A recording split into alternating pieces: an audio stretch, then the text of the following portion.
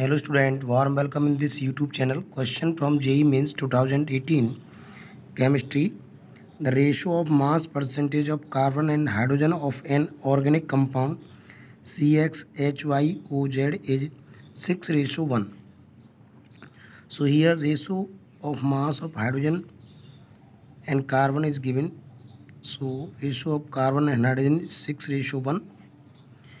If we take molar mass of carbon 2 molar mass of hydrogen then we divide 6 by 12 its atomic weight and hydrogen's atomic weight is 1 so molar mass ratio of carbon to molar mass ratio of hydrogen is 1 by 2 ratio 1 therefore formula of CH is C 1 by 2 mole H1 mole we remove the fraction to remove the fraction we multiplied this by 2 so this C1 by 2 H1 multiplied by 2 because the moles are not taken in fractions so this is C2 by 2 H2 into 1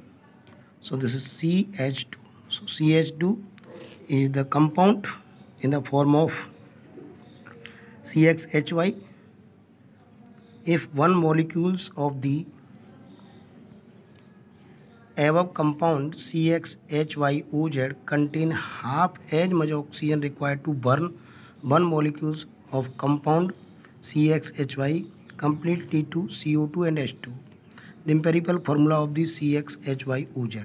So student,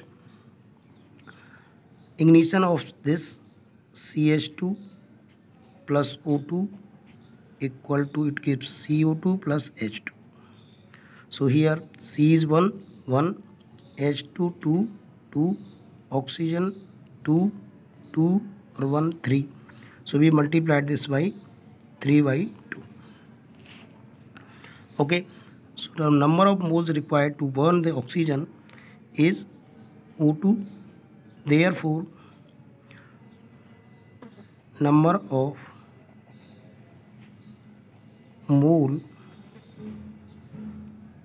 of oxygen required to burn CH2 is 3 by 2 therefore empirical formula